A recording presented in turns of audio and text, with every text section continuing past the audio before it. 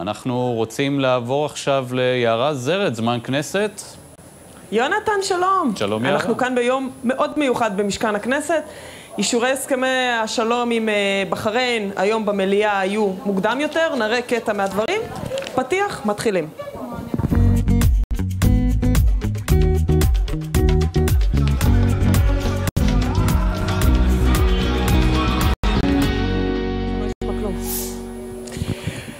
חברים, שלום, תודה שהצטרפתם אלינו שוב. ארי גלר, מה העניינים? אהלן, צהריים טובים, אחר צהריים טובים, ברכת הסכמי שלום, אה, זה חוזרים טובה. קצת אחרי, כן, אחרי ירידה של אה, ביידן, וככה מורל ימני, נכון, אה, נכון יורד, אז הנה, אנחנו מקבלים תזכורת לפחות למה שעדיין קורה פה, וטוב. תשמע, נדבר היום על הסכמי השלום, תכף נראה קטע של ראש הממשלה נתניהו ושל שר הביטחון גנץ במליאה. היו ככה עקיצות, ראש הממשלה אמר משהו על המשותפת, נדבר על זה, גנץ אמר על התקציב. סאיב ברקת מת היום, אה, נדבר על ההספדים, כי השמאל הישראלי מספיק תומכי טרור, כאילו ככה זה. אדם שלא הכיר במדינה היהודית עד יום מותו, אדם שדיבר על הכובש במדינת ישראל, לא דיבר על אה, יהודה ושומרון, דיבר על תל אביב, הרצליה, כן? את זה הם רוצים בחזרה. אה, כאילו בחזרה.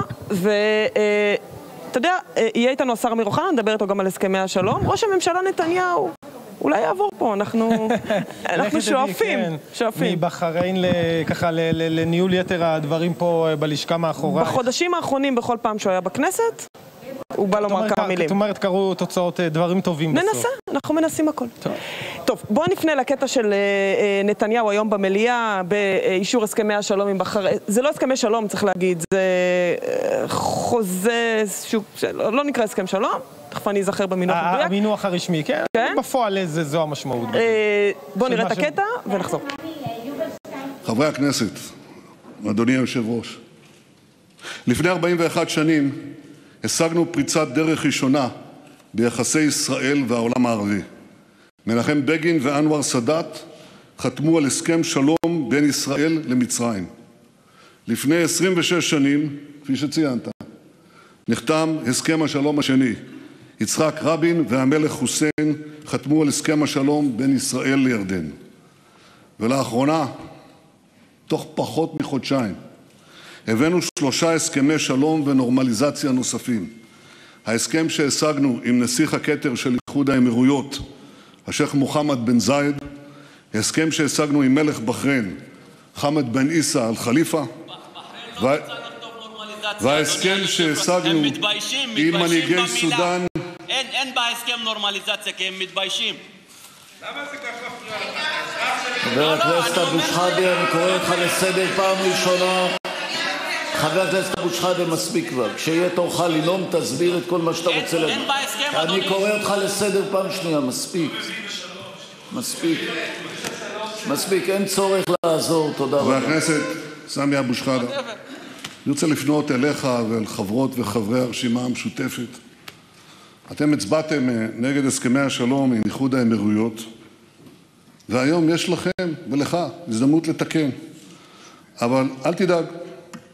אם לא היום, ניתן לכם בקרוב הזדמנות נוספת לתקן.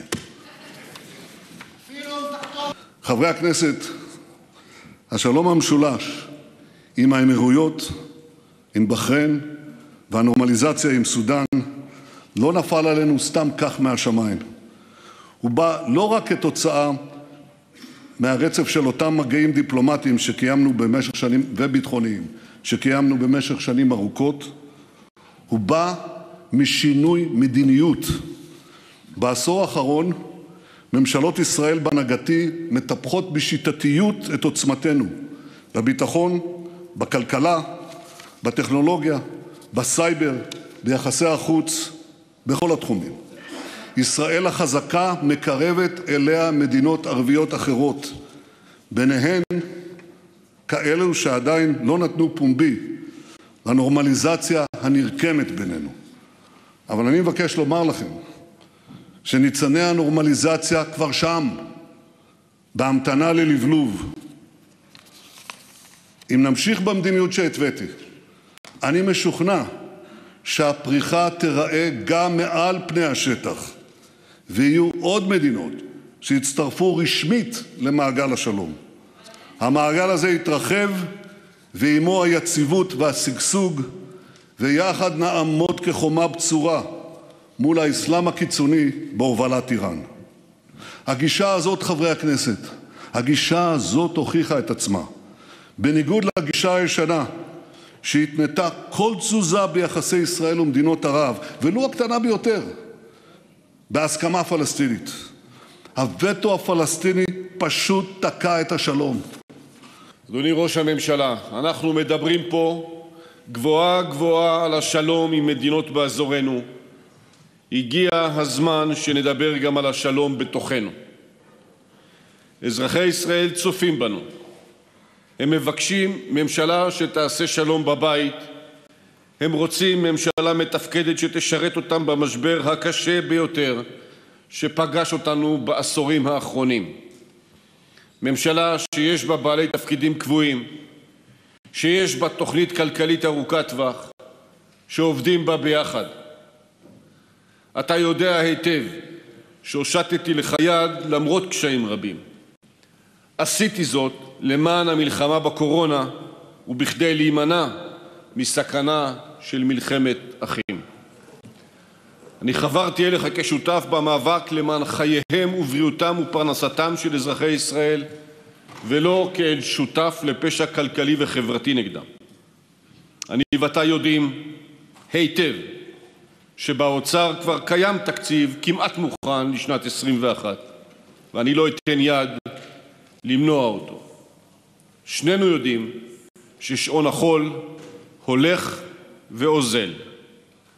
בידך למנוע את האסון הכלכלי והחברתי ולעשות את הדבר הנכון למען אזרחי ישראל. בנושא הזה לא יהיה גורם חיצוני שיכווין אותך. תודה רבה.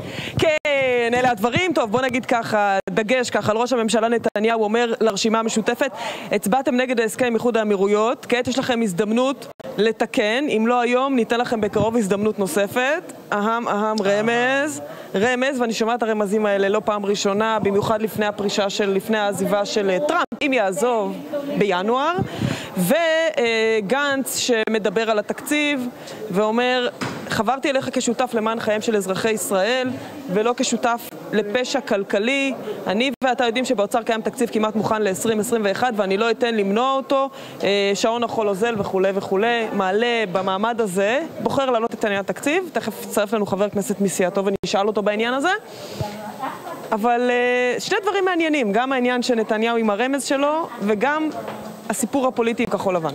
נכון, תראי, בואו נתחיל ראשון ראשון, אחרון אחרון. לגבי הרמז של נתניהו, האמת שאני לא כל כך יודע מה זה אומר ולאן זה הולך, זאת אומרת, וכל השאלה בעצם, האם אנחנו נראה כן מפלגה ואת מפלגת אה, אה, רע"מ, אה, חבר הכנסת מנסור עבאס, יושב ראש רע"מ, שהוא, האם בעצם הם, הם הפוטנציאל היחיד כן לתמוך בכזה דבר? שאלה מעניינת, אני על מה, על מה נתניהו מכוון. אני חושב שבסיפור של בני גנץ העניין הוא קצת יותר ברור. תראי, בני גנץ נמצא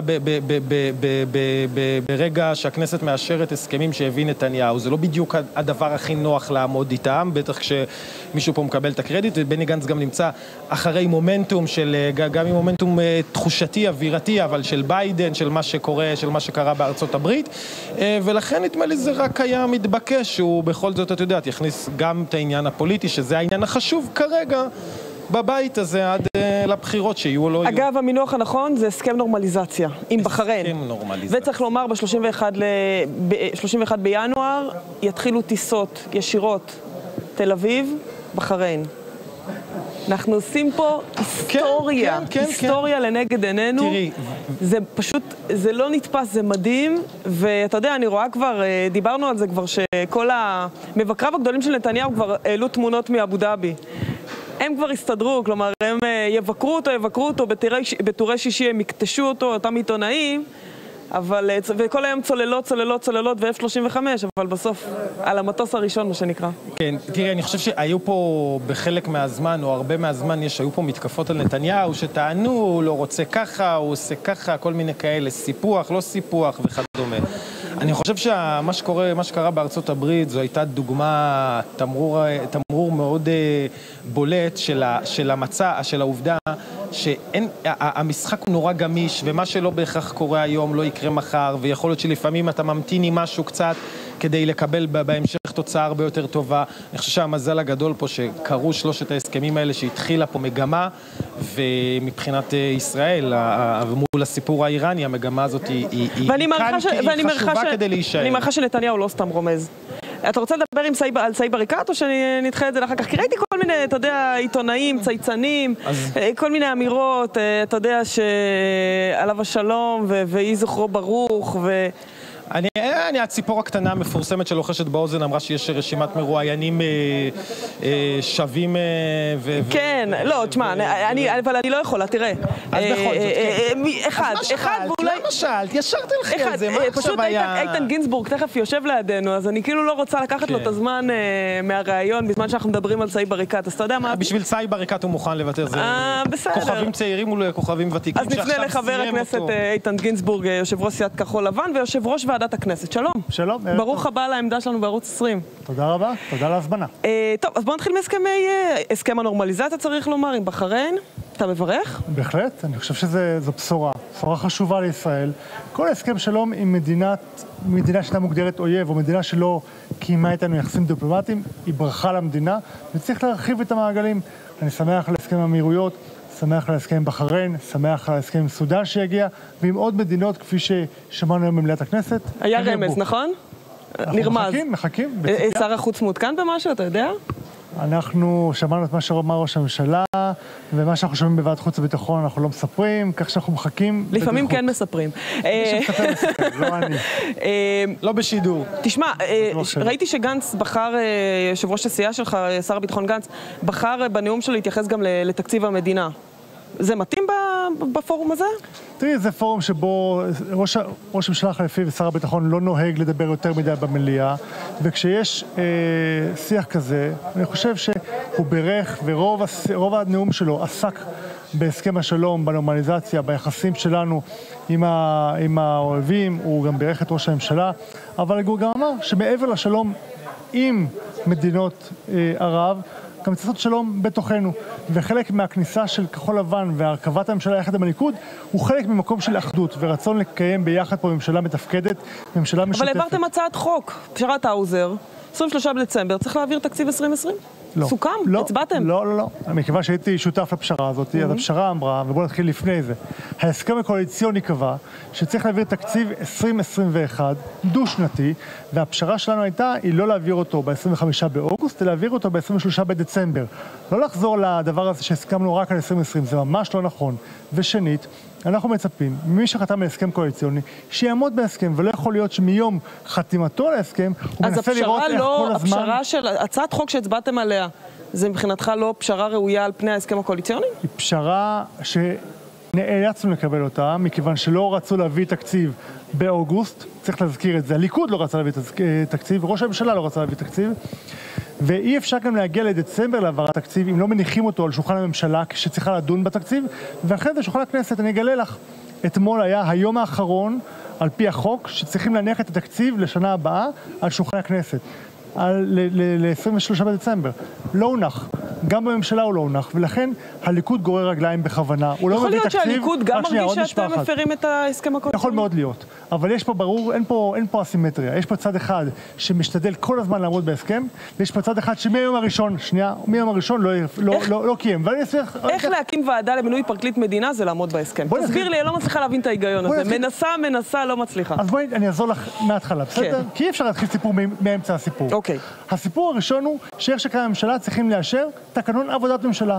עד היום התקנון לא הובא. Mm. אחר כך צריך להביא אישור תקציב מדינה. עד היום לא הובא. ואחר כך גם צריך להקים ועדה. אנחנו הסכמנו להביא ועדה, והיה על זה שיח. ועדה העניין- לבחינת המינויים. נכון, כן. אבל אנחנו תוך כדי הדיונים על זה, אגב זה באמת ועדה לבחינה, לא לשינוי, תוך כדי הדיונים גם גילינו, כשדיברנו על הרכב הוועדה, שהם רוצים גם לקבוע התוצאה ואת המסקנות של הוועדה עוד לפני שהיא הוקמה.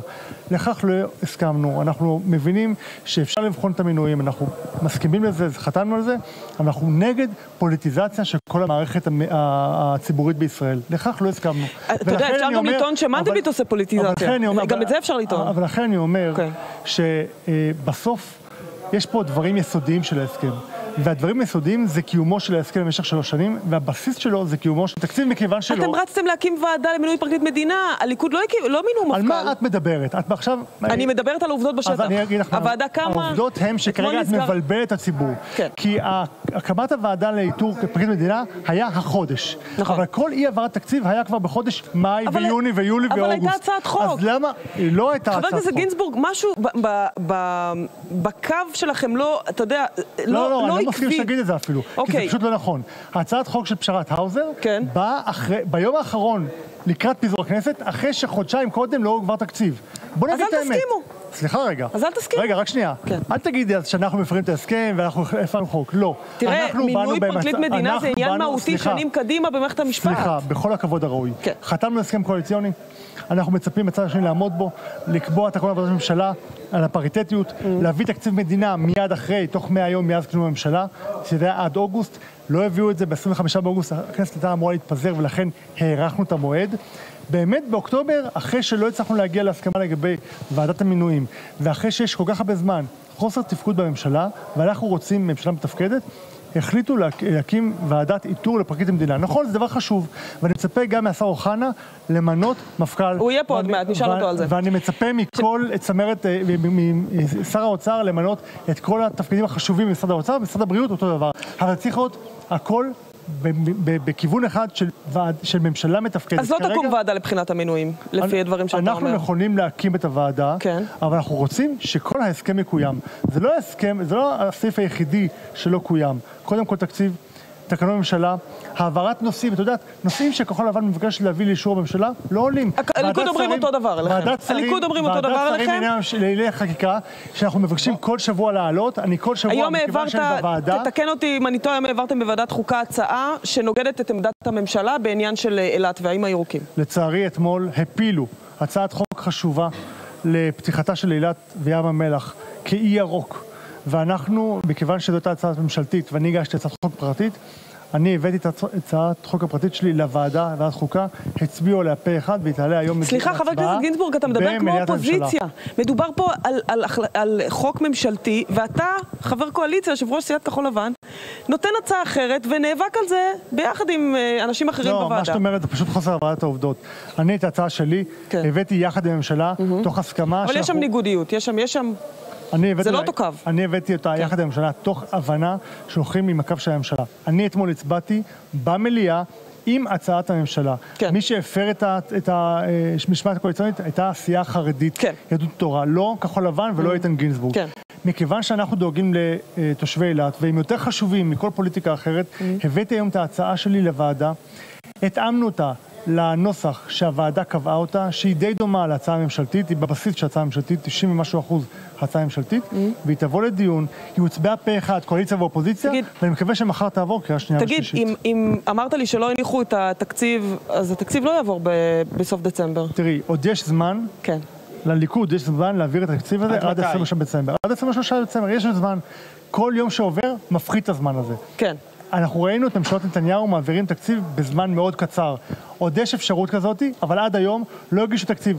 לא משרדי הממשלה דנו בזה, בטח לא הכנסת, ולכן ככל שעוברים אני חושבת הימים... שבחינת הכנסת זה משהו כמו, אני אולי טועה, אבל זה 45 ימים לבחינת הכנסת. על פי חוק, כן. אנחנו כבר התחלנו אותם. הבנתי. אבל אפשר הבנתי. לדון בהם גם פחות זמן, ואני קורא הבנתי. לליכוד להתעשת. בואו נעשה ממשלה מתפקדת, בואו נתמודד במשבר הקורונה, במה שחשוב לאזרחים, משבר כלכלי אדיר, חייבים תקציב לשנה הבאה, ובואו נקיים פה ממשלת אחדות של שיח משותף וטוב. לטובת כל אזרחי ישראל, אנחנו ויתרנו, אתם מוותרים, בואו נתקדם. אתה, חבר הכנסת איתן גינזבורג, אתה יושב ראש אה, סיעת אה, כחול לבן, שזה סוג של הג'וקר של המפלגה, מוציא, מביא, מתכלל פה בכנסת את האירועים של, ה... של המנגנון. והשאלה, אנחנו רואים בעצם שהליכוד וכחול לבן זה קצת כמו שני יקומים מקבילים, כל אחד יחשוב איפה הצדק, איפה הלא, אבל זה נורא, לשם זה הולך. מה ה... התקציר אירועים, לקראת מה אנחנו הולכים? זאת אומרת, אם עד 23 אני, אין לנו תקציב, אז אנחנו הולכים. לפיצוץ, יפה. והשאלה היא מה אז כחול לבן תעשה שהיא היום לא עושה, לצורך העניין עם מינוי פרקליט, האם היא תמנה פרקליט נגד, נגד הליכוד, ושורה של דברים נוספים שנמצאים בקנה. מה הם? אנחנו מנסים לגרום לכך שהממשלה תתפקד. אנחנו לא עובד. מוות- אנחנו אם לא יעבוד. אנחנו לא מוותרים על הממשלה. ואם לא יקרה? אנחנו רוצים שהממשלה תתפקד כי זה נכון לאזרחי ישראל, לא כי זה אכן. נכון השתכנענו. לכחול לבן, לליכוד או לנתניהו. אנחנו לא השתכנענו. פה בשביל נתניהו. השתכנענו. ולכן אנחנו רוצים שיתפקד, ואנחנו עושים כל מה שאפשר, ולכן גם בני גנץ קרא לנו לראש הממשלה להעביר כן. תקציב. ואם התקציב לא יעבור, אנחנו, בפנינו יעמדו כל הכלים הפרלמנטריים והפוליטיים האפשריים כדי להביא לכדי... פעולה כלשהי פוליטית, שאני לא אחשוף אותה פה? בשידור שלכם ברשותכם, כן. כדי להביא לממשלה חלופית או לבחירות, מה שזה לא יהיה. תגיד, שאלה לסיום, אתם תעברו פוליגרף אה, בסיעה שלכם? אחרי דרישת יושב ראש המפלגה? זו לא הייתה דרישת, לא הייתה דרישת יושב ראש המפלגה, אוקיי. זה היה דווקא מהח"כים, מכיוון שאנחנו מקיימים שיחות פתוחות ומחליפים דעות, ויש מגוון דעות בתוך כחול לבן, כמו שיש בהרבה מפלגות אחרות. אה, כשאנחנו מדברים בתוך כחול לבן, חברים רוצים לדבר חופשי, ולא יכול להיות, כשמדברים בצורה חופשית, זה מישהו הייתה- מוציא- מישהו מוציא החוצה. ה- היוזמה לבדוק מאיפה זה יצא, הייתה של חברי הכנסת, מי שעצר את זה והפסיק את זה, זה היה דווקא אה, יושב ראש כחול לבן בני גנץ, הוא אמר שאין צורך בזה. למה? ואנחנו ממשיכים הלאה, אבל זה לא חשוב. למה? מה שחשוב הוא שאנחנו מקיימים לא, שיחות... יכ- יכול להיות שהוא יודע מי מי העביר את הפרטים מתוך הפגישה? אגב, פגישה להבנתי בלי עוזרים, כלומר, זה הייתם רק אתם. נכון, וזה מה שכאב, כש- כשאנחנו יושבים חברים ביחד, מדברים שיח פתוח, כל אחד אומר את דעתו, ואחרי זה מוצאים את עצמנו אה, מצוטטים במקומות אחרים, זה לא דבר שאנחנו מצפים מחברים וקולגות, ולכן אני שמח שאנשים הב- הבינו והתעשתו. אנחנו נמשיך לקיים שיח פתוח, בני גנץ מקשיב, הוא נוהג להקשיב אגב הרבה יותר מכל מנהיג אחר שאני מכיר, מקשיב לנו, שומע את הדעות שלנו, בסוף יש אוקיי. זה עמדה. רושם אבל בינתיים שבעיקר מי ששולט בשיח ונותן את הטון זה יותר אה, שר המשפטים וה- והסביבה הזאת מאשר, ה- נקרא לזה הפרקטיים של כחול לבן, המתונים. אני לא יודע מה הכוונה, אין בכחול לבן מחנות, אם זה לזה אתה מכוון. אין מחנות, יש אנשים שהם יותר דומיננטיים מי. שבמחנה השני אומר את זה אחרת בשיחות אין סגורות. מחנות בכחול לא לבן, מחנות, כולם לא, עומדים מאחורי המנהיגות של. בני גנץ. נכון, בהחלט יש גישות. שונות. יש בכחול לבן גישות שונות, כמו שיש בליכוד גישות שונות, ובש"ס גישות שונות, ובמרצ כן. גישות שונות. זה לגיטימי בתוך אה, מפלגה פוליטית. אנחנו דמויות פוליטיות עם דעות פוליטיות, בסוף אנחנו מתייצבים אוקיי. אחרי המנהיג שלנו, בני גנץ. חבר הכנסת איתן גינזבורג, תודה רבה שהיית אצלנו בשידור. תודה רבה. יושב ראש סיעת כחול לבן. אנחנו יוצאים הפסקת פרסומות קצרה, מיד חוזרים.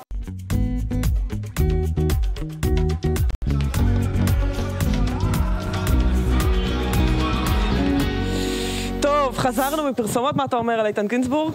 ראיין ראשון כאן. אמ, תשמעי, הוא אמר את מה ש... את הנרטיב המקובל, הוא יודע להגיד את זה גם מתוך שינה, נדמה לי שהוא לא חידש לנו פה כלום. תכף נשאל את השר אוחנה, אתה יודע, כל אחד טוען, אה, כל אחד טוען להגנתו. נכון, נכון. אבל איך אפשר להגיד על הצעת חוק לתקציב שעברה שזה הפרת הסכם קואליציוני? אני עוד לא הצלחתי להבין את זה. אה, יש לכחול לבן עוד הרבה דברים שהם אומרים שלא הצלחת להבין. כן. בסדר, שלום לשר לביטחון פנים אמיר אוחנה. שלום וברכה. מה נשמע? בסדר, חשבתי שאני אענה רק ממך, הרווחתי פעמיים. ארי גלר, לשירותך תמיד.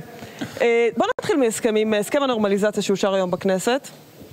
טוב, קודם כל, אה, לצערי, הכנסת לא מלאה.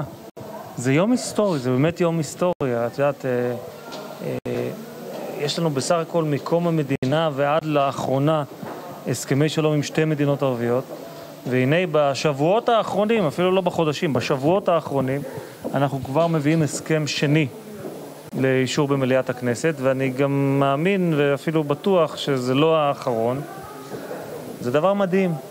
אני חושב שככל שהולכות ומתמעטות מדינות ערב שאין לנו איתן הסכמים, זה מעיד על שינוי טקטוני במזרח התיכון, שינוי ביחס של העולם הערבי למדינת ישראל, אה, לא כאויב, אלא כשותף נגד האויב האמיתי, המשותף, והוא כמובן אה, האסלאם הרדיקלי בהובלת איראן והציר השיעי נקרא לו.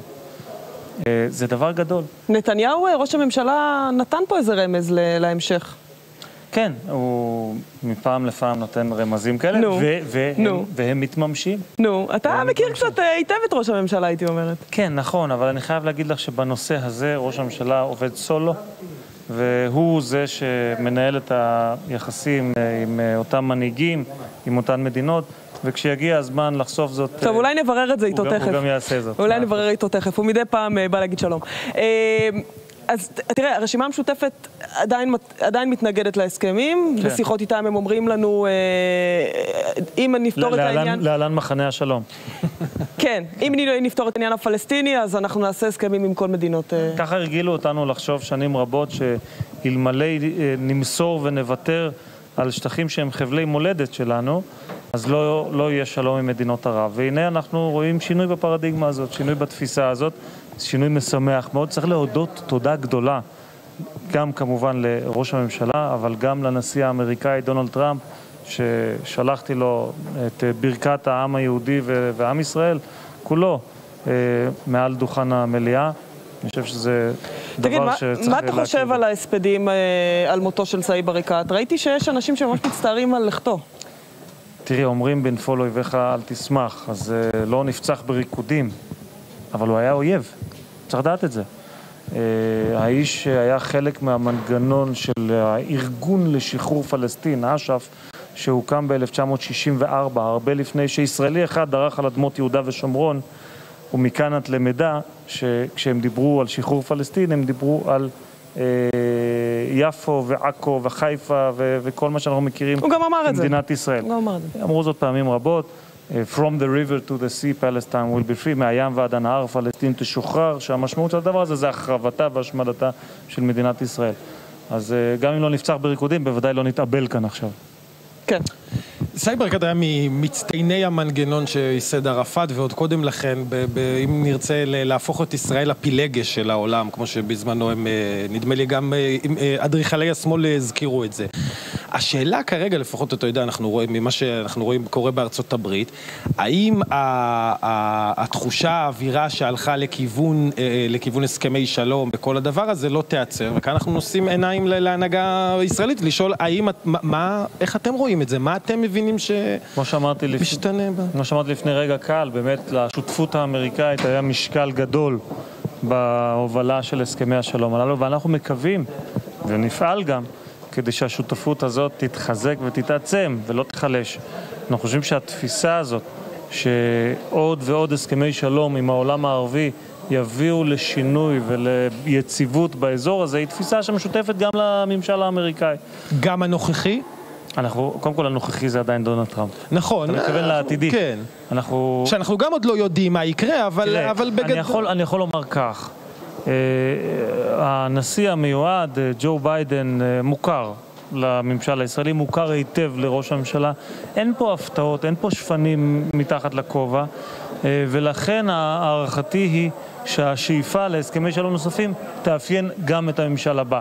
האם תהיה בהם, תהיה בשלטון, בממשל הבא התעוזה הפורצת דרך שאפיינה את אה, ממשל טראמפ, ימים יגידו. אבל הרצון והשאיפה לשלום בהחלט משותפים. טוב, חצי שנה במשרד לביטחון פנים, תובנה שלך? יש הרבה מה לעשות. יש הרבה מה לעשות כדי uh, להביא למערכות טובות יותר. צריך להגיד, זה כבר לא משרד המשטרה מאז שנות ה-90.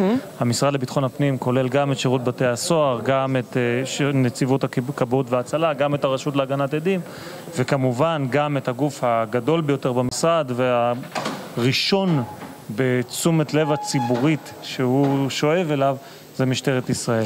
תשמע, אה, ראיינו פה עכשיו את חבר הכנסת גינזבורג, הם אה, רצים לדרך עם מינוי פרקליט מדינה, הם אומרים שמבחינתם זה לא הפרת הסכם, כי הליכוד הפרו קודם וכולי.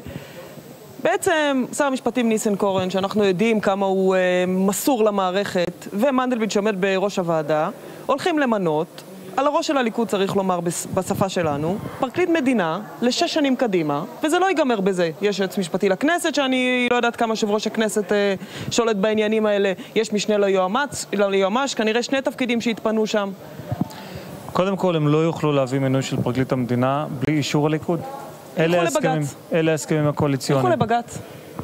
זאת אפשרות, אבל אני אומר כאן באופן אה, מאוד ברור, אנחנו לא נסכים למינוי שלא ייקח בחשבון את ההסכמות שהסכמנו וחתמנו עליהן. מינוי פרקליט מדינה יכול להוביל לפירוק הקואליציה הזו? אני רק רוצה להסביר, כן. אולי לא כולם יודעים, אבל בהסכמים הקואליציוניים בין כחול לבן לבין הליכוד, ואני הייתי שותף להסכמים הללו, יש סעיף שאומר מפורשות שהצדדים יפעלו מיד לאחר הקמת הממשלה להקים צוות שידון באופן המינויים הבכירים, בלי שמות, אבל באופן שבו יקוימו המינויים הבכירים. אה, האם ועדת גולדברג או ועדה אחרת או, או לא ועדה, אולי להביא, השר יביא את האישור לאישור הממשלה. אני פעלתי להקמת הצוות הזה, אנחנו, הליכוד, פעלנו, ומי שטרפד את זה ועד היום מצוי בהפרה מתמשכת של ההסכם, זה כחול לבן. אז אני חושב שמי שבא, בכל רעיון שבאים אליי בטענות, למה אין עדיין מפכ"ל, אני רוצה למנות מפכ"ל, זה צריך צריך לנו למנות מפכ"ל. המשטרה כמעט שנתיים בלי מפכ"ל, זה כן. לא תקין. אז זה לא יקרה בזמן הקרוב? אני לא אומר שזה לא יקרה, אני אומר שכדי שזה יקרה, אנחנו צריכים לעמוד בהסכמים. אנחנו מהצד שלנו עושים את מה שצריך, הצד השני גם צריך לעשות את אז שלו. בוא אני אלך איתך עוד קצת. אם כחול לבן לא שותפים איתכם בהקמה לבחינת המינויים, לא ימונה מפכ"ל? תראי, אני לא רוצה להיות כל כך נחרץ. אני רוצה להגיד את הדבר הבא, אנחנו עומדים על קיום ההסכם. אני אומר זאת גם לאבי ניסנקורן, אני אומר זאת גם לבני גנץ, הוא יושב ראש המפלגה בכל זאת. זה לא אבי ניסנקורן, בניגוד למה שאולי לפעמים מצטייר. אה, ובני גנץ צריך להתעשת, להבין שאם הוא רוצה שהממשלה הזו תעבוד אה, ושנגיע לרוטציה ושהוא ייכנס למשרד ראש הממשלה, הוא צריך לעמוד בהסכמים. הסעיף הזה הוא סעיף מהותי, אנחנו רואים בו סעיף מהותי, ואני מקווה מאוד שהוא גם יקוים. מינוי פרקליט מדינה יכול להוביל לפירוק הקואליציה הזו? מינוי פרקליט מדינה שלא בהתאם להסכם, כלומר, מה שנקרא מעל הראש שלנו, קודם כל לא יקום ולא יהיה. כי אנחנו גם... הם כבר גם- יצאו לדרך, הספינה כבר שטה. הם יצאו לדרך בהליך המינוי, וזה נכון. בסדר. אתה יודע, גם אני יכול לצאת את זה, גם אני פגשתי את כל הניצבים במשטרת ישראל. כדי למנות פרקליט מדינה. צריך להגיד, גם אה, אה, בשב"ס צריך אה, למנות... אה, נכון, אמת. גם פגשתי את כל הגונדרים בשב"ס, אה, גם שם אני ערוך ובשל להתקדם. אבל כדי למנות, צריך הסכמה של הממשלה. ואת זה לא יהיה עד שלא נפעל בהתאם להסכם. אוקיי. אז ככה סיום, התחושה שאתה היית במשרד המשפטים, כיכבת שם, בעצם בקרב רבים מהציבור, פתאום ככה הסתכלו על תקופת איילת שקד אחרת. הגעת, אבל זה כי זה נורא ברור שזה, הגעת לתיק של ביטחון פנים, משטרה שהיא גוף חולה, אנחנו מכירים מכל הסיפורים. שב"ס, אנחנו גם, אתה יודע, נחשפים לחלק מה, מהסיפורים, בין היתר חשיפות של לירן לוי וכדומה. וכמובן כיבוי אש, שנחשפנו בין היתר לאיך הגוף. הזה מתקיים עם מיו"ר ועד העובדים ועל- ו- וכל הבלגן הזה. לכאורה לא תצליח לטפל בהכל, אה, אתה יודע, אנחנו נמצאים בבחירות או לא בחירות. מה הדגלים מבחינתך שהם חשובים עד לבחירות שיהיו או לא יהיו בתפקיד? אני אתחיל מהמשטרה, אני חושב שזה גם, ה... באמת, גם אמרתי את זה קודם, הגוף המשמעותי, החשוב ביותר, ולדעתי גם שהכי מעניין את הציבור מכל הגופים אצלנו במשרד. אה, ואני חושב שהמצב שם מצריך יותר שינויים מאשר בגופים האחרים שמנית. הדבר הראשון שהייתי אומר זה אמון הציבור. אני חושב שאנחנו צריכים לפעול כדי שאמון הציבור יגבר במשטרה. אני חושב שהוא לא גבוה מספיק, הייתי רוצה שישתפר. כדי שזה יקרה, המשטרה צריכה להיות מוכנה להכיר בכך שמפעם לפעם גם היא טועה. אני לא שומע מספיק את המשטרה אומרת סביב אירועים מסוימים, טעינו. זה כמעט לא קיים בלקסיקון. אה, היא צריכה להיות יותר שקופה. היא צריכה להיות יותר מהירה בטיפול המשמעתי בשוטרות ושוטרים שמדי פעם, וזה נדיר, זה בשוליים, אבל מדי פעם גם מבצעים עבירות.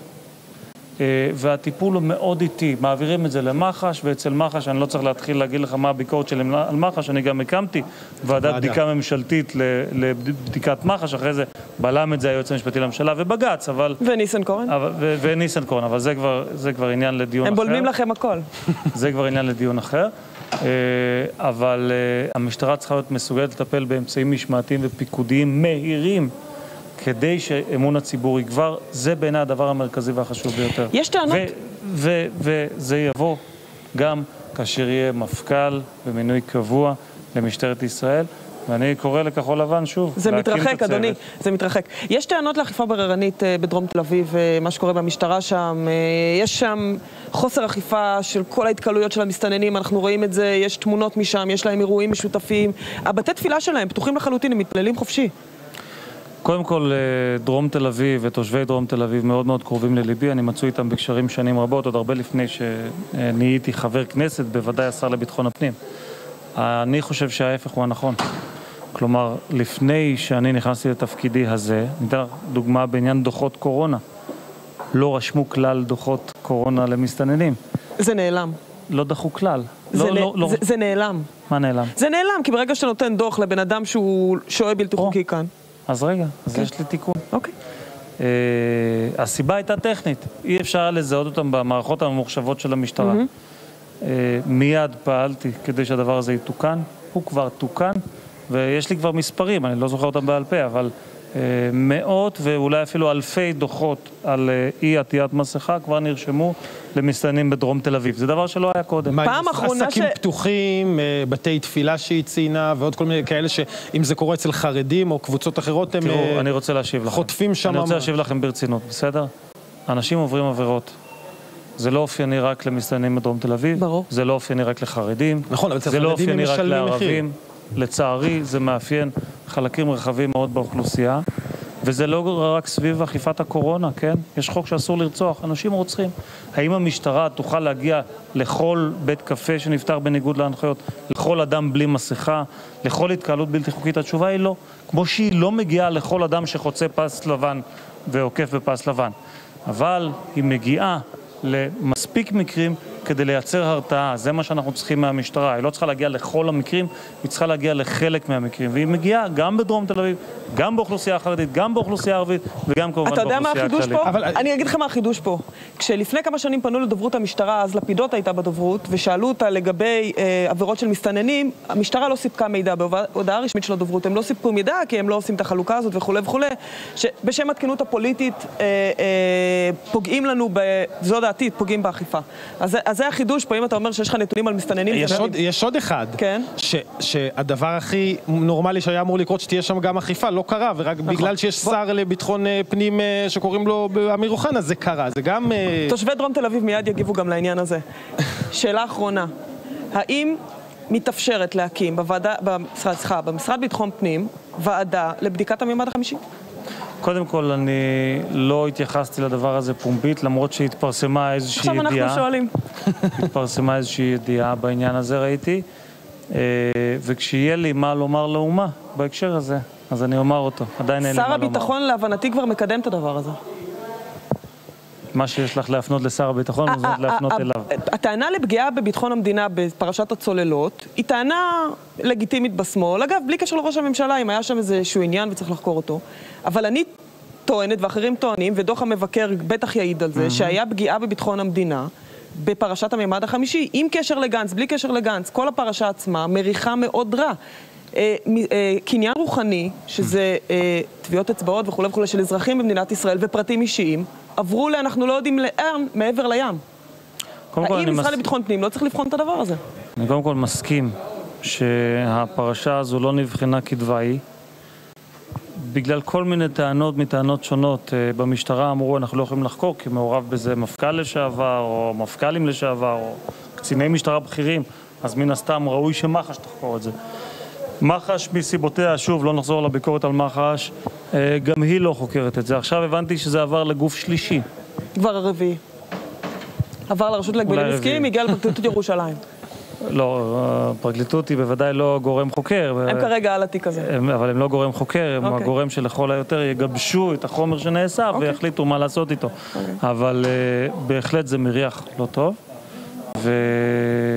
ואם צריך או לא צריך לבצע פעולות כאלה ואחרות, כפי שאמרתי, אני אדווח לציבור ב- טוב, בזמן ובמקום. נשמח לשמוע על העניין הזה, זה חשוב. מאה אחוז. אה, אולי אני אעשה זאת. אצלכם. בוא, נגיד, שהציבור אה, דורש, אה, את זה ממש, זאת אומרת ממך את, התשובות לדבר הזה, ובדרך כלל אה, אנשי, אה, פוליטיקאים מימין רגילים להיות מותקפים אה, משמאל, אז במקרה, לפחות בשאלות האלה, אז התקופות אה, מגיעות... לא, אנחנו אה, לא תוקפים, אנחנו לא, לא, שואלים. לא, נכון, נכון, אבל בוא- נגיד שזה... גם לתקוף זה בסדר. כן, לחלוטין. מדינה אה, דמוקרטית. אז זה הצד, שה, זה הצד אה, שפה תוקפים אה, אנחנו ממנו. חייבים לסיים, אז בואו ניפרד מהשר.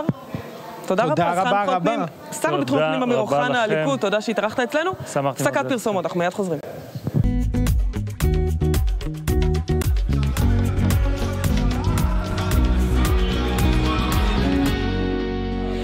חזרנו, חברים, תודה שהצטרפתם שוב. אה, מה שהסכמי השלום פה עושים כן. לאנרגיות שלך, הנרמול, נרמול היחסים, נכון? נורמליזציה. לא, יש לנו כמה כותרות יפות מהשר אוחנה. לחלוטין. כן, כן. כן, נחמד. טוב, חבר הכנסת אוריאל בוסו ש"ס מצטרף אלינו, מה נשמע? מהשר העולה לכוכב העולה של... אה, סתם, תמשיכי, סליחה, כן, כן. אתה מפרגן, מתחיל מעולה, במלאכה, כן, אומרים לו כן. גמור. אני אחראי אה, לצבע. הסכמי השלום? אה, תשמעי, כל אה, נרמול יחסים, בכל נקודה כזאת אנשים צריכים לזכור, אה, בסוף בסוף זה עוד אצבע באו"ם, זה עוד, איך אומרים, נתינת רוח גבית. בוסו, תנו לנו את. מרוקו, תנו לנו את מרוקו. היום, את יודעת למרות שמרוקו זה... האמת שש"ס הייתה צריכה להוביל את המהלך המדיני מול מרוקו. אני, אני עומד למשל בראש קבוצת הידידות אה, ישראל-הונדורס.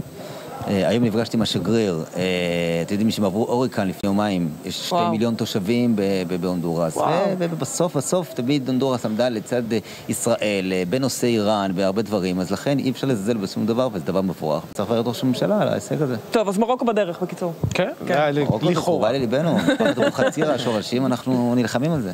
תגיד, תקפת את בנט במליאה אתמול, נכון? כן, אה, תשמעי, מוצאי שבת אה, השר נפתלי בנט, אה, שר? שר שר שעבר, לשעבר. אבל אה, בתקופה האחרונה הוא עושה כמה מהלכים, ש... עוד כמה קולות מפה, קולות מפה, בהצבעה של... אה, של החוק השני במחלוקת, אה, החבר'ה שלו לא היו, אולי קצת לרמוז אה, ללהט"בים, אה, אבל אה, אה, פשוט אה, בשביל קולות. בסופו של יום הוא עושה מהלכים לא נכונים. מוצא שבת הוא תקף את החרדים, הוא אומר שראש הממשלה נכנע לחרדים אה, וסחטו אותו, וכן קנסות, לא קנסות, וסגרים. וראשי הרשויות החרדיות קיבלו אותו בזרועות פתוחות, כשהוא בא לבקר והוא בא לתת סיוע. הוא בעצמו עשה סגר כשהוא היה שר הביטחון בסיבוב הראשון, על אילת ועל אה, בני ברק ועל הכל, ופתאום בסוף אה, לבוא ולתקוף אותם. אז אני אמרתי לו, אתה כתבת ספר, קודם כל צריך לזכור שפעם אחת הוא אומר שסגר זה אסון. במוצאי שבת כשאמרו שפותחים את העסקים, הוא אמר שזה אסון.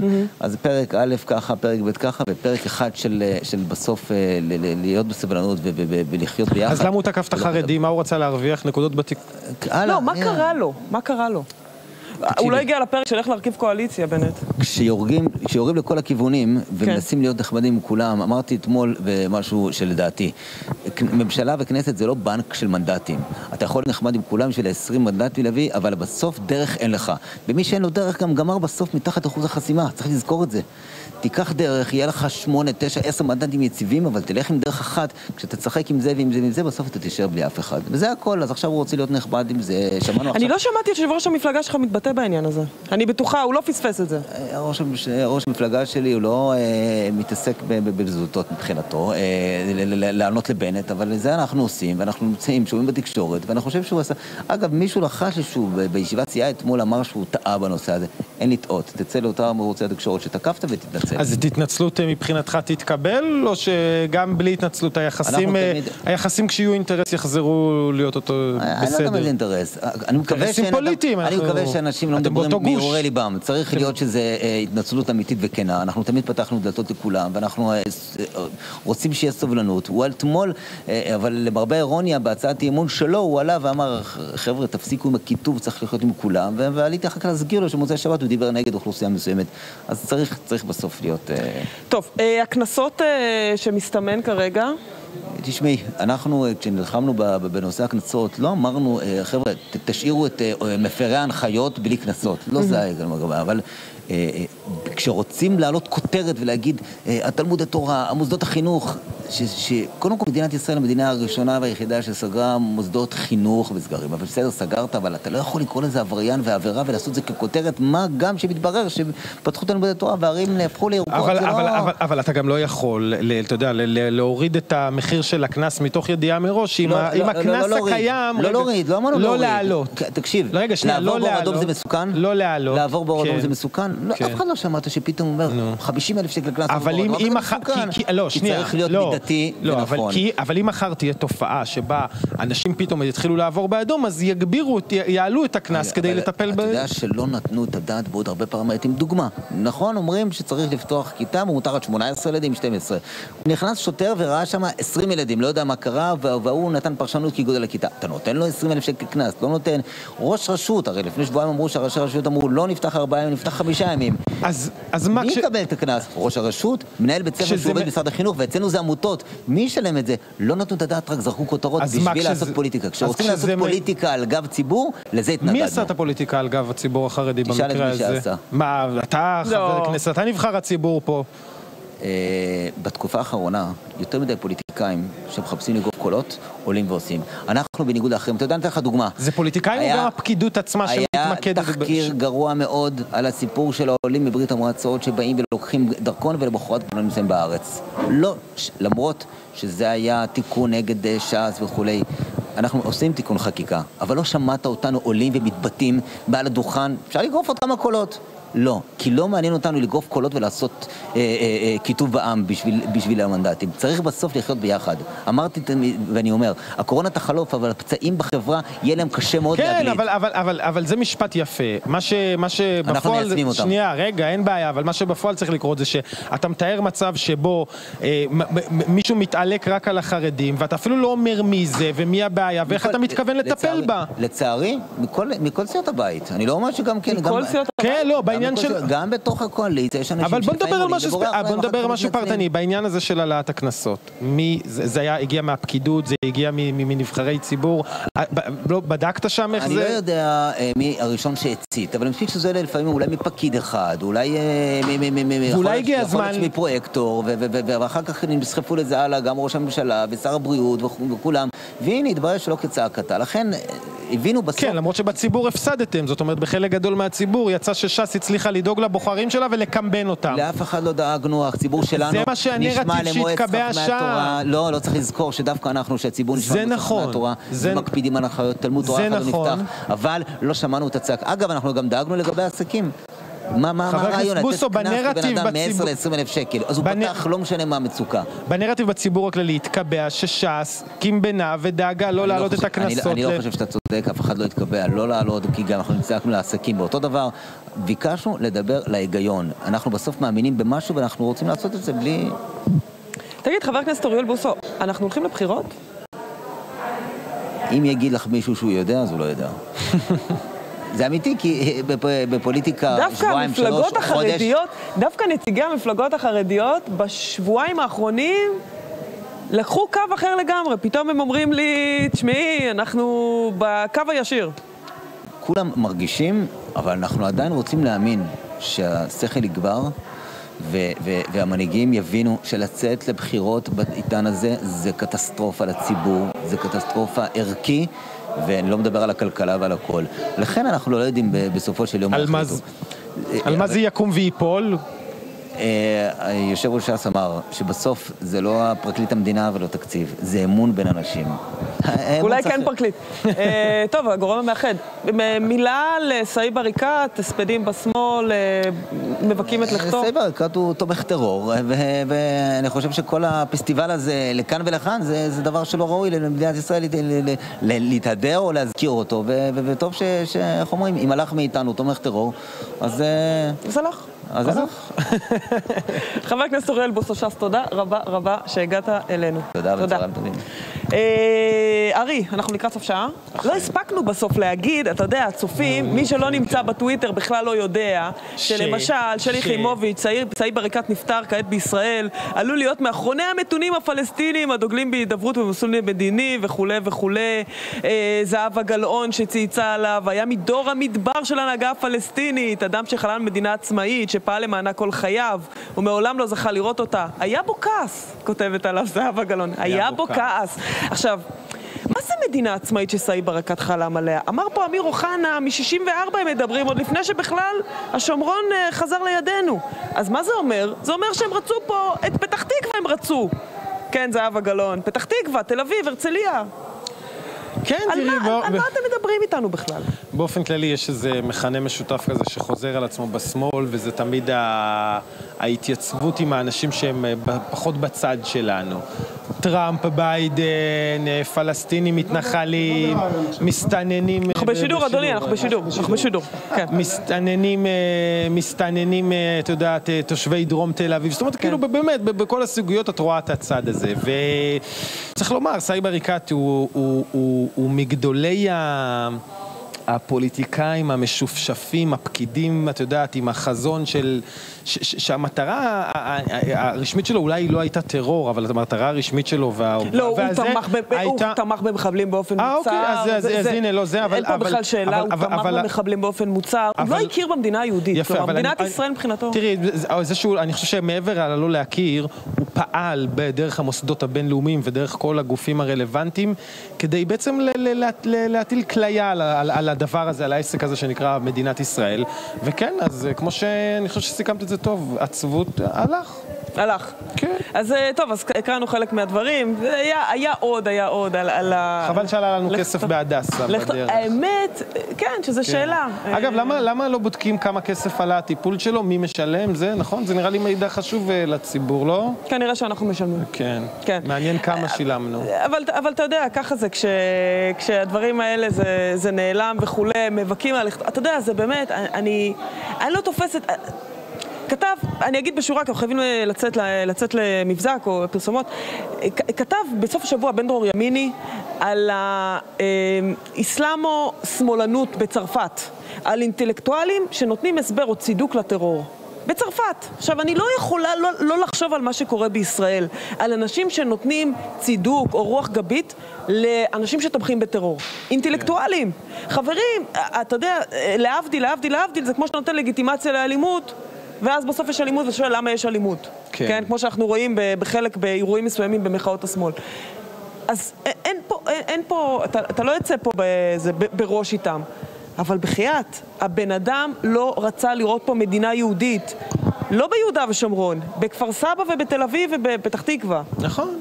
בסדר, תראי, לפחות האירוע הזה מספק לנו עוד דרך להבין אה, את התפיסה המעוותת של... ואתה רואה את של- ה vibe בתקשורת, אתה של- קולט כמה הם, כמה הם רבים בתקשורת לעומת כמה זה מיעוט ב- ב- בעם... שליטה, כמעט שליטה מוחלטת, כאילו, בואו בוא, בוא נציג את הדברים, כן? כן. טוב, אה, מפלגת התקשורת, כן. בשעה הבאה אנחנו נעסוק אה, קצת אה, בקורונה, ויש לנו אה, ככה עוד כמה דברים לגעת בהם. אנחנו... ונספחי שלום, לא נכניס עוד קצת אה, מ- מ- מזה, משמעויות? הרי אנחנו יודעים כבר מתי יש טיסות של אל על הלוך חזור, נכון? את התאריך נתת בתחילת התוכנית, אבל נדמה לי שיש עוד כמה דברים מעניינים לספר שם על אה, האירוע הזה. כן. בשורה אדירה. בשורה אדירה. כן. אגב, היה גם קטע מעניין עם גפני היום, אנחנו נראה אותו אחר כך. יאללה, כן. גפני טוב, תמיד, אה, אה, יונתן, אתה איתנו? מיד נחזור אליכם, אבל קודם מבזק. אנחנו חוזרים עכשיו לזמן כנסת, יערה, ארי. תודה, יונתן, תודה רבה. פתיח קצר, מתחילים.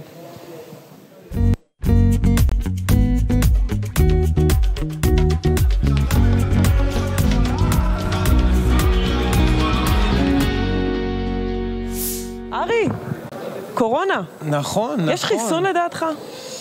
אה, אני בטח לא יודע, אבל כן, כמו כולם, נושאים עיניים לחיסון. לפייזר. בדיוק, כן, למי שזה לא יהיה, זה, זה כאילו יהיה המשיח של התקופה, מי שיביא את החיסון. אין, ב, אין, אין דרך להגיד את זה אחרת. מה שלא יהיה, ואנחנו עוד לא יודעים אם פייזר אומרים 90 אחוז וכולי וכולי, מה שלא יהיה, קודם כל, להערכתך, אה, עיכבו את ההודעה בגלל טראמפ בארצות הברית?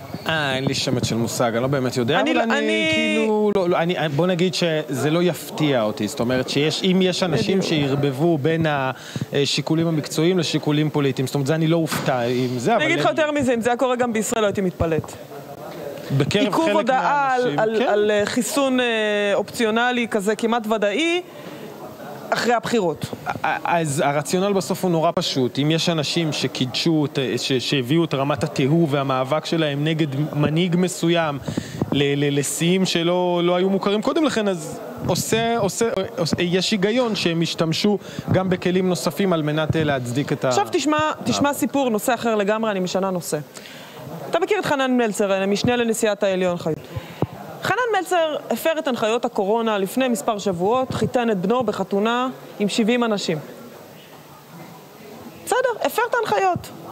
טענות לכאן ולכאן, אתמול, פורסם בגל"צ אגב, נגיד להם, ניתן להם את הקרדיט, השופט שוהם, נציב תלונות על השופטים, מאשר, הייתה הפרת הנחיות של השופט חנן מלצר, קיים בניגוד להנחיות חתונת בנו. אבל הייתה פה, ככה לפי הטענה של השופט שוהם, הטעיה, משרד הבריאות וכולי, נציג שהטעה אותו וכולי, ומה שנקרא, הרכבת יצאה לדרך והחתונה התקיימה. תגיד, מישהו דיבר? כאילו, לא. מישהו דיבר, הרי כשהיה לא. פה פוליטיקאי או פוליטיקאית, היה פה סערה גדולה, כי אנחנו יודעים מה האחריות של נבחרי ציבור. כששופטים מפרים הנחיות, ושופטים הם הרי, אתה יודע, המלאכים שיושבים בכס השיפוט, כן? הם כבר מעבר לאדם הרי, הם לא ככל האדם. להם מותר הכל. אבל כשהם עושים את הט- את הטעויות האלה ואת ההפרות האלה, ואחרי זה הם ישבו על כס השיפוט ויגידו לאדם כזה וכזה, כן, לא, מותר, אסור. ואחרי זה גם יאשימו את משרד הבריאות, זאת אומרת, משרד הבריאות הוא זה שפספס. את... אה, לא ידע להסביר. על העניין הזה לא שמעתי כלום. חנן מלצר הפר הנחיות קורונה, קיים חתונה לבנו, 70 איש. תראי. אה, אגב, מי התארח בחתונה הזו? אני לא יודעת. אני. מעלה שאלה. האם היו שם שופטים, וזה עוד בכירים היה במערכת בזמן המשפט? הסגר. כן, אה, אני לא יודעת אם בזמן הסגר, אבל זה היה אבל בזמן... זה היה ה- 70 איש שלא שהיה את ההנחיות. כן, שהיה מותר 20. תראה, אני אגיד לך משהו, כל מה שקורה עם מערכת המשפט זה אירוע ש... החלק החיובי שקורה בו זה שלראשונה אנחנו בעצם גם יודעים, יודעים לדבר על האנשים בשמות ופרצופים ומקרים. אמנם לא מספיק, אבל אנחנו מדברים, זאת אומרת גם פה, הנה פעם ראשונה מדברים. עכשיו, למה זה חשוב? כי עד היום אנחנו התרגלנו לראות את אה, שופטי, שופטי בית, בטח בית המשפט העליון ובכלל המערכת הזאת, כמו שתיארת, כמלאכים, כאנשים קדושים, כ- כ- כמשהו שהוא כמורמים מהעם.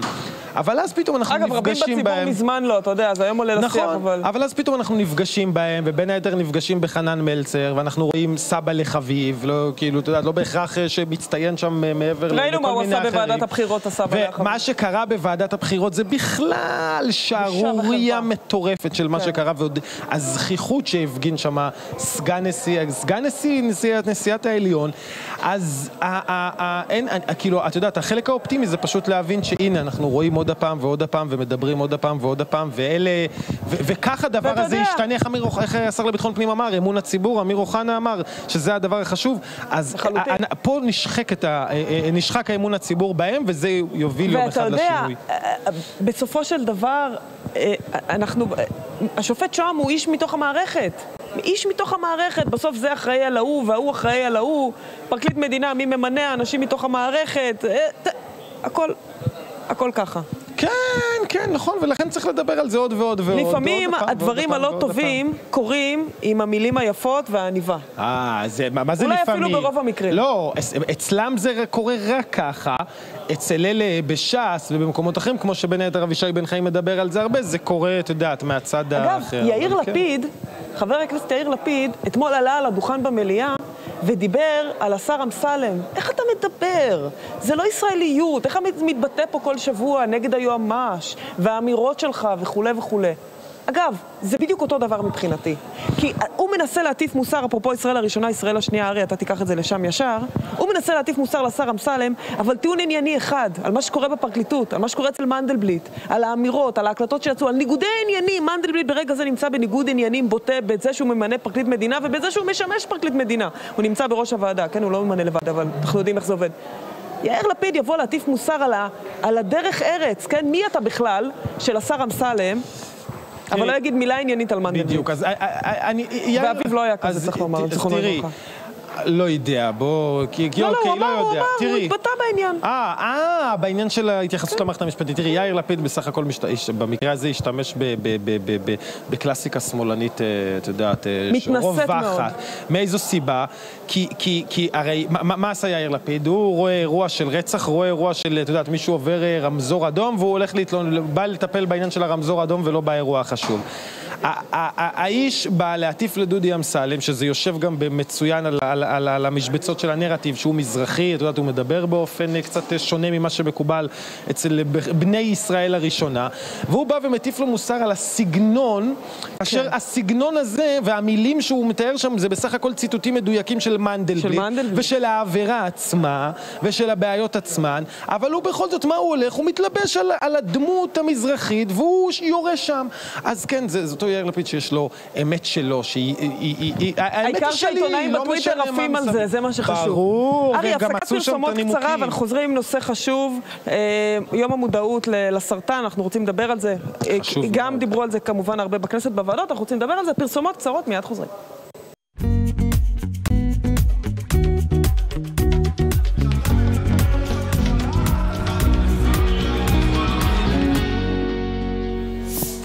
חזרנו, מצטרפת אלינו מירב דמארי, מנהלת מחלקת ההסברה, מידע וקידום בריאות האגודה למלחמה בסרטן, שלום. היי, שלום. אה, מירב דמארי, אמרתי נכון? כן, אמרת נכון מאוד. כן. אוקיי. אנחנו רוצים לדבר על אה, יום ההתמודדות עם מחלת הסרטן. כן. אה, אנחנו למעשה אחרי שתי ועדות היום שהיו בכנסת, ואנחנו בכלל בעיצומו של אה, מבצע הקש בדלת, אני מקווה ששמעו את זה, עשינו הרבה קמפיין מאוד הקש גדול. בדלת קצת שונה, תכף נדבר על זה. כן, בדיוק, הקש בדלת אונליין, שמתקיים בדיגיטל, וכמובן שאנחנו צריכים את העזרה של כולם, שכולם יירתמו ויתרמו. אה, האגודה למלחמה בסרטן מתקיימת אה, בתרומות הציבור זה מאוד מאוד חשוב לפעילויות שימשיכו אה, כרגיל.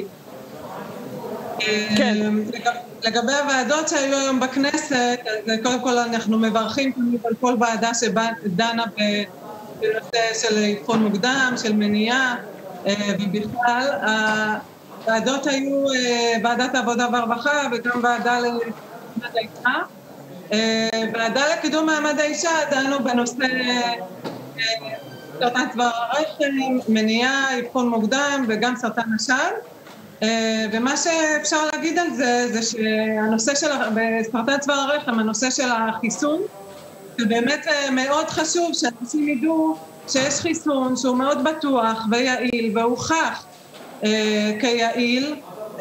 בעזרת החיסון הזה אנחנו יכולים בעצם להגדיר את המחלה, סרטן צוואר הרחם וגם מחלות סרטן נוספות, כמו סרטן הפה, סרטן הלוע ומחלות נוספות. ולכן כשיש חיסון, ואנחנו רואים את זה עכשיו כמה אנחנו מחכים לחיסון של הקורונה, כשיש חיסון צריך לעשות אותו. וכל מתנגדי החיסונים, וכל מתנגדי החיסונים שבעצם אה, מתנגדים, אה, אין לזה הוכחה וזה לא בצד המקצועי. מירב, ת- אני רוצה, אני רוצה ככה, אני קצת מתקשה לשמוע, אז ככה בקצרה. מה השינוי שאת מייחלת לו מנבחרי הציבור בתוך כנסת ישראל? האם זה תקציבים להסברה? האם, מה, מה השינוי שאת מייחלת לו? אני הייתי רוצה שברור שיעלו את המודעות אה, גם בנושא החיסון, ביצוע החיסון, ביצוע בדיקות לסרטן צוואר הרחם וביצוע הבדיקות לסרטן השד. בסרטן השד האגודה יזמה את תוכנית הממוגרפיה ובאמת אנחנו בשיעורים מאוד גבוהים, גם של ריפוי, גם 90 אחוזי ריפוי, גם שיעורים גבוהים של ביצוע בדיקות ממוגרפיה ובזכות ניירת הממוגרפיה שהאגודה רכשה בשנת 2001, אז בשנת 2011 התבטלו לחלוטין אה, השיעורי אה, הביצוע הממוגרפיה בין יהודיות לערביות, ובאמת כן. אנחנו רואים שביצוע הממוגרפיה היום הוא די גבוה, אבל היינו כמובן שואפים ליותר, אה, ומבחינת... אה, גם דובר נושא של ה-BRCA, שזה מוטציות אה, גנטיות, אה, אה, שזה בעצם אה, מוטציה שגורמת שד ושחלה. יש לציין, וחשוב מאוד שהציבור ידע, שזה נכנס לסל, במסגרת הסל, אה, ששני ההורים שלהם אשכנזיות, אה, והיינו רוצים באמת שאנשים ידעו, שייגשו להיבדק. אני שמעתי אוקיי. היום בוועדה... אז מירב דמארי, אה, בואי נסכם. אני מוסיפה למה שאמרת, וכמובן, אבחון מוקדם מציל חיים. לכו להיבדק. מירב דמארי, מנהלת מחלקת ההסברה, מידע וקידום בריאות האגודה למלחמה בסרטן, תודה רבה שהיית איתנו. תודה, והלוואי שנדע רק בשורות טובות בבריאות. כן, כן, כן, תראי, זה תודה. אה, כן. פרויקט אה, סופר חשוב, נדמה לי הוא כמעט אה, ימיו אה, כימי המדינה, מאיזה 1950 אה, ומשהו, וצריך להגיד, הפעם, השנה, יש קורה משהו מיוחד, משהו אחר ושונה, שהקורונה תפסה בעצם את הקש כן. בדלת, כ- כמשהו שהשנה אי אפשר לעשות, אבל הפתרון שהם מצאו שם זה אונליין, ומי שבין היתר, מי שעושה את זה זו חברת צ'רדי הבינלאומית, בכובע אחר אני קשור אליהם, ואני חושב שה... התרגלנו לראות את החבר'ה, הנערים האלה דופקים לנו בדלת. נכון, והתמונה הזאת השנה בעצם נעלמת, זה הכל עובר לאונליין, זאת אומרת לדיגיטל, להנגשה הזאת, ובאמצעות הפלטפורמות החברתיות, שהן אה, מביאות אה, ומייצרות את האקוסיסטם הזה, שמלא אנשים יצטרפו לתוך התרומות. יש שם למעלה מאלף אה, קבוצות של ועדי עובדים, בתי ספר וחברות, ו... הלוואי, את יודעת, כן, זה מה שנקרא פרויקט לאומי. כן, כן, כן. טוב, תשמע, אה, לקראת סיום, אני רוצה שנצפה בקטע, דיברנו קודם שופטים וכולי, עכשיו נדבר קצת פקידים. תשמע, גפני, אנחנו יודעים שהוא אה, מנהל את ועדת הכספים ביד רמה, אה, הייתה תקופה שהוא לא היה והוא חזר, אבל זה, זה שלו, מה שנקרא. כן. שואל פקיד ממשרד אה, אה, האוצר, כסף עבר? שים לב לתשובה. בוא נראה את גפני ועדת כספים. אה, אה, מר דניאל, הכסף עבר? לא, לא נאום ציוני, אני רוצה תשובה. הכסף עבר? יש מקור תקציבי למתן מענק, הוצאות קבועות וסוציאלי, מה שזכאות להם מטפלות המשפחתונים. אני רק אגיד משהו אחד חשוב. לא, עבר הכסף? הכסף קיים, קיים בתקציב משרד העבודה והרווחה, זה לא סכום גדול, בסופו של דבר מדובר בכמה אה, משפחתונים, אבל כן חשוב לי להגיד משהו. רגע, מר מדינה, הכסף עבר, משרד האוצר... אני רק אגיד אבל משהו אחד חשוב, וזה חשוב גם שיהיה... מה- חשוב? אז אני אני רק אשלים את התשובה בהקשר הזה, כי כן חשוב לי להגיד את כל התהליך. לא, חכה, יש חברי כנסת שעוד צריכים לדבר, אתה אתה פה, ואתה אתה- אז תגיד אתה את רוצה הדברים. תשובה לשאלה, להגיד מה- התשובה, האם הכסף עבר? התשובה כן. למה לא שילמתם? מה? אני אבדוק, אני אבדוק את הנושא הזה, אני שומע את זה בפעם הראשונה עכשיו. בסדר, אני רוצה עד סוף הישיבה. אתה תקבל תשובה. רבותיי. אדוני היושב ראש, אני לא מתחמק. אפשר שנייה ברשותכם? אתם שואלים שאלות, אני גם רוצה להשיב. אני לא מתחמק מתשובות. אם יש כסף בקופה של אגף מעונות יום, הוא יחולק בשבוע הקרוב, אני אומר את זה עם סימן. אני מבקש... אני אבדוק את הנושא הזה, אני שומע את זה עכשיו בפעם הראשונה. אני לא ידעתי שעבר. תקציב. העברנו כסף. עשינו שמיניות באוויר, את המענקים של 350. אני מבקש... של ה-700. לא, אני לא רוצה, כל אנחנו השטרות... נעביר את זה, אני מתחייב. אז אני מבקש עד סוף הישיבה, אני מבקש לדעת תשובה. הכסף, לפי דברי. אנשי האוצר, עבר, למה זה לא מגיע לאנשים? אני שמעתי אותו אומר... תודה רבה. קיים, כן, כסף קיים. קיים בסדר, אה, לא, תראה, הוא אמר שזה קיים בעבר, הוא אמר. קיים לי- בעבר. אה, עאידה, לא בעבר. לי יש- מסקנות על כל ההתייחסות של לא, לגבי כל המערכת הזאת. אני רואה את זה על כל נושא. ואנחנו נברר את זה, אנחנו פה. כן? אכן. כן? איזה אנרגיות יש לה. זה לא פעם ראשונה כן, שגפני עושה כן, להם את זה. כן, כן, אבל זה- אנחנו- תשמע, זה המהות. כן, כמו איזה, כן, את יודעת איך הוא כזה כולו קטן כזה יושב ונוזף בהם. וזה. תראי, מה, אנחנו... בוא נדבר קצת, אבל לא באמת, תופעה, אבל רגע, אה, שנייה, רק עוד איזה. זה לא תופעה חדשה שפקידים לא יודעים לתת אה, תשובות, ו- או לא רוצים לתת תשובות, או מתחמקים מתשובות. גפני העמיד אותו פה המק- במקום, אבל צריך, אנחנו צריכים לראות יותר מהדבר הזה בקרב נבחרי הציבור. תשמע, אתה גם שומע מה שקורה במשרד האוצר, והשדרה שם התפטרה, אולי טוב שכך, אני כמעט בטוחה שטוב שכך. והתבטאות אתמול של רוני חזקיהו, שהתקציב הפך פוליטי וכולי וכולי. זה כאילו עד עכשיו זה, אה, כן, אמירות שאתה, אגב, כן, זה אגב, לשני הצדדים. עוד, עוד איזה עניין פופוליסטי, אם אנחנו כבר בנושא הזה. מדברים על הורדת שכר אה, הח"כים. הח"כים, השרים וכולי, או אי העלאה וכולי. כשבאים לדבר על אה, אה, שכר אה, הפנסיות התקציביות, לא שכר, הפנסיות התקציביות, מעל 20-30 אלף, שם זה נתקע. שם. אתה לא שומע אה, התגייסות כן. שלך. כי כאילו, הפופוליזם הזה, שאתה מביאים את הח"כים, ואולי שופטים בכירים, ואולי זה, בסדר, בסדר. אבל, אבל יש מי, פה... אבל מי אשם פה בעיניי בוודאי מבחינתי? שמשרד ו- האוצר לא, והשר לא, לא, לא, לא, לא, לא, לא, חברי הכנסת ונבחרי הציבור. כי אם הם משתפים פעולה עם הספין הנלוז הזה, והם בעצם, והספין הנלוז הוא זה שהם בעצם משתפים פעולה עם הביקורת התקשורתית על כך שהם משתכרים עוד כמה שקלים, כאשר לכולם ברור שזה לא האישו ויש מקומות הרבה יותר אה, חשובים גם שם לנגוע. אני לא אומר נראות ציבורית היא דבר חשוב, אבל זה לא האישו, אז, אה, אז, אז, אז, אז הם אשמים במה שקורה להם היום. ואפרופו משרד האוצר, תראי, נכנס שם ממלא מקום אה, מנכ"ל, ערן יעקב, מנהל כן, רשות נכון. המיסים. אני לא מבין גדול אה, בתוך המערכת הזאת, אבל בינתיים נראה שזה מתנהל אה, יפה מאוד, אה, יש בלנס, יש איזונים. נכון, הוא גם, הוא, הוא גם כ- כ- כ- כ- כ- כבן אדם הוא מאוד אנרגטי ונראה שאת יודעת, הוא, הוא בנוי בדיוק לעבוד ב over שעות האלה שנדרש, כן. דורש התפקיד הזה. כן. אה, תגיד, אם כבר התחלנו לדבר... Energizer. שאלנו, שאלנו את בוסו על המפלגות החרדיות וכולי. איך זה, מה קורה שם עכשיו? יש, יש קצת כעס על הליכוד, בוא נאמר את האמת. כל הסיפור עם אילת וזה, גם אמר גינזבורג רמז על זה שהם נתנו שם את הטון.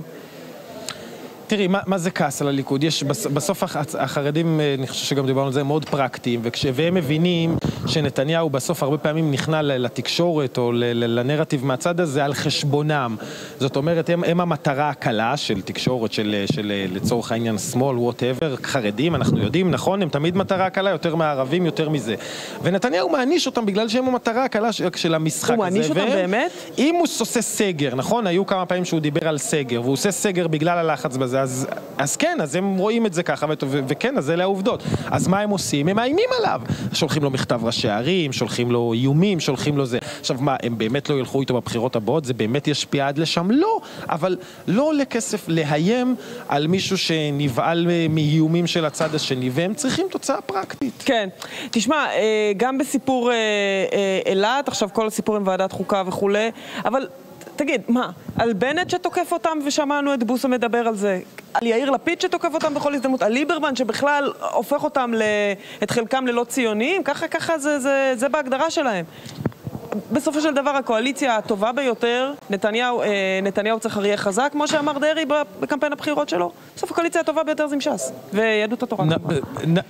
זה אז את שואלת על ההיגיון של נתניהו, למה הוא בכל זאת לא... לא, אני שואלת, אני שואלת על ההתנהלות שלהם כרגע. מה, זה אווירת סוף קואליציה? ההתנהל- אה, תראי, ההתנהלות שלהם כרגע, קודם כל זה אווירת סוף קואליציה, וההתנהלות שלהם כרגע היא, היא, היא בזה שאם הם, הם אה, נדחקים לאחור או נרמסים, אז הם צועקים, והם צועקים על האיש החזק פה ששולט בעניינים, וזה נתניהו, זה לא בני גנץ.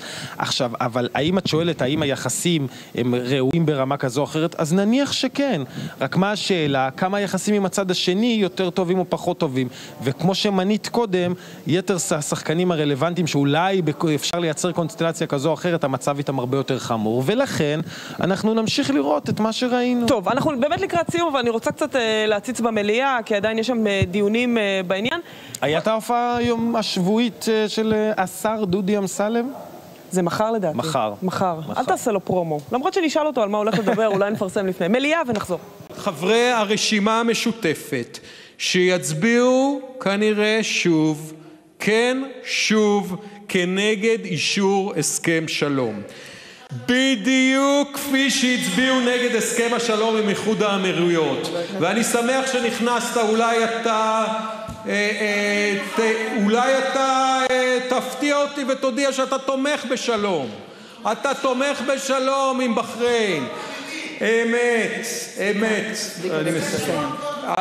הצופים בנו, יהודים כערבים, יצפו בהצבעה ויראו כיצד אתם, אנשי הרשימה המשותפת, מתנגדים לאותה תקווה חדשה, מתנגדים פה אחד לאותו עתיד שיתוף פעולה בין העמים, אה, כפי שאגב רציתם שאזרחי איחוד האמירויות ובחריין ישלמו מחירים אישיים על מזבח הסרבנות הפלסטינית, כך לצערי, ואני אומר את זה באמת לצערי, אתם מייחלים שכולנו, כל אזרחי ישראל, יהודים וערבים, ישלמו מחיר אישי על אותו מזבח פלסטיני.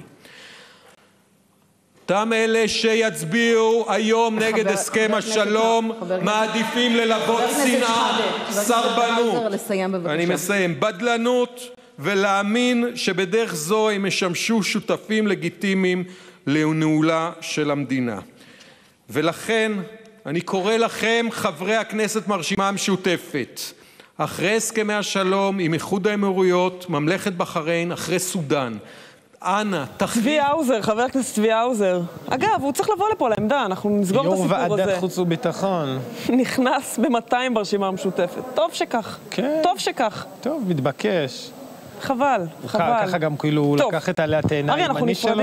כן. איזה לא, באסה. הוא, בסדר, אה. אנחנו נפרדים. תודה שהיית כאן היום. תודה שהזמנת לא אותי. הספקנו ל- לתפוס את ראש הממשלה, אולי אחר כך. האמת שחשבתי על זה כשבנית לא מלא. בבילדה, לא כאילו. אמרתי, טוב, בסוף לא יצא, אה, ואז הצופים זה... מכירים, כשהוא פה הוא עובר. לא. ברור, הוא לא יצא עדיין. אחרינו אה, מהדורה מוקדמת עם ליטל שמש, ואנחנו נהיה כאן גם מחר בשעה 4, תודה.